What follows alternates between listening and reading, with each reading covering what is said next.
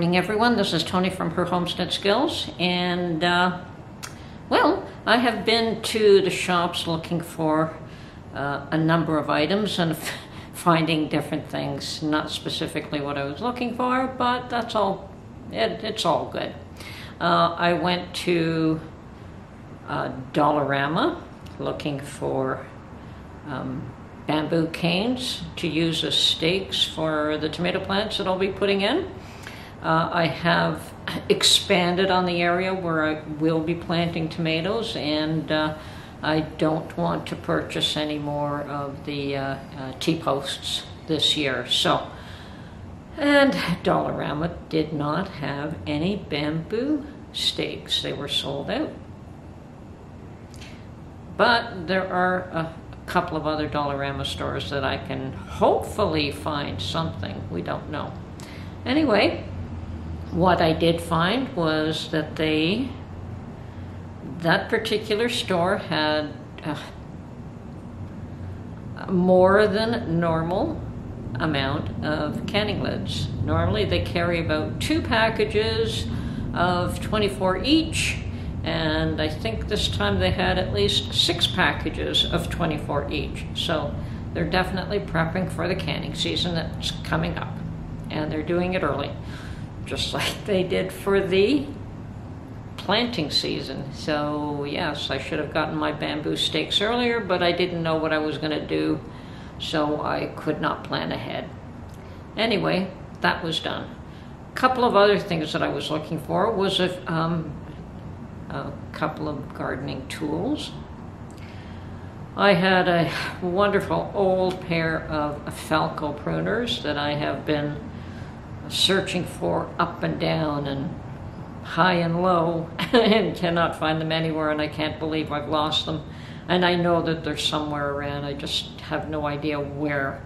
So in the end, I just got totally fed up and decided to buy another pair. Unfortunately, those are probably the most expensive pruners you can buy.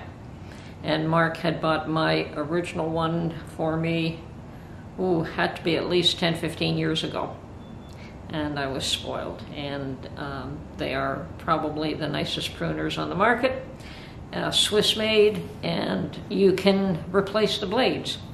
So, uh, well worth paying the extra dollars. As I said, the last one I had at least 10 or 15 years, and it probably did need either a blade sharpening or replacement anyway. So, hopefully, if I find the other one, then I'll have two. That would be awesome. But I did buy that at a specialty shop that Mark found for me. The uh, normal shops where I would look for it were out of stock.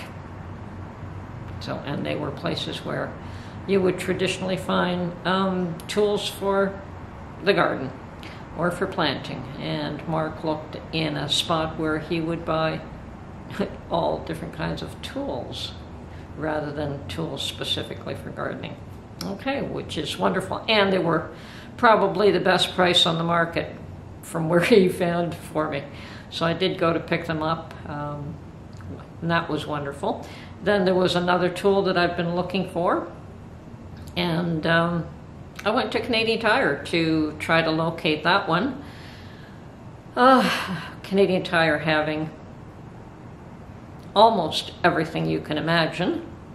There was something else I was looking for at Canadian Tire, and that's the um, Masontops uh, glass pebble, pebble, I think they call them pebble tops or pebble stones or something, but they are for fermenting. They're glass tops that you put in uh, a mason jar uh, for fermenting, and of course, with the uh, uh, pickles, uh, cucumber season fast approaching, I would like to pickle some cucumbers. And those looked like an ideal item, and uh, I saw them at Walmart and was, uh, oh, wonderful, I can pick these up. Unfortunately, Walmart just had the regular size, and I don't want the regular size. I want the wide mouth. And I searched them out on the internet, and sure enough, the wide mouth are sold out again.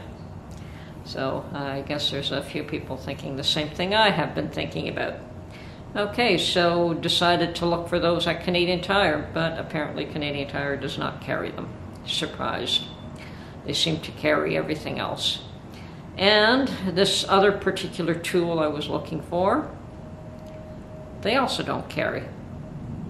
And I found it elsewhere, and I did order it, and it should show up. Oh, they say Monday, but Monday's a holiday here, so likely Tuesday or Wednesday, which is fine.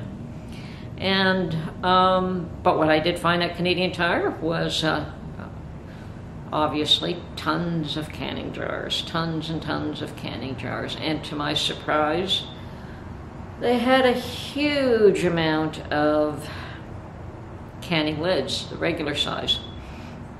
Okay, so just looking at the picture that I took, it had um, eight of these boxes, like two rows, and two rows of four each, so that there were eight of these boxes that hold 24 packages of 12 uh, canning lids.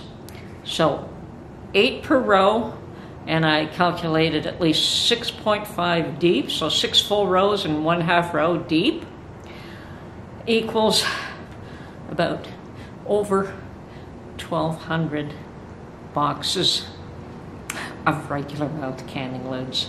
And if you times that by 12 lids per box, there are well over 14,000 canning lids just in that container. And they have uh, another um, shelf with the lids and rings of the regular mouth, and they also have more products on shelves. So, Canadian Tire, at least that particular store, is gearing up for the canning season.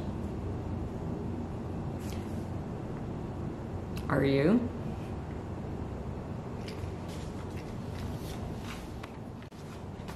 This is Tony from Her Homestead Skills. I hope you enjoyed this little video, and we'll catch you on the next one. Bye for now.